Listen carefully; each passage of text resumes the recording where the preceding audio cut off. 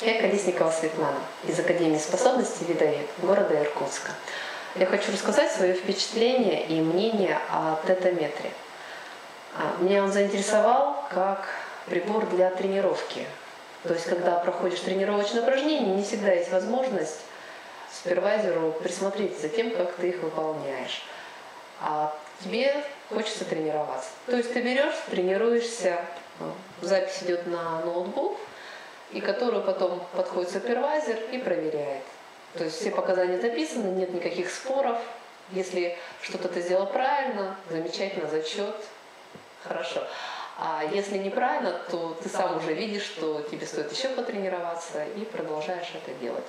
И опять же это все видно, и ты уже знаешь и уверен в своих навыках, которые еще подтверждаются документально. Это все.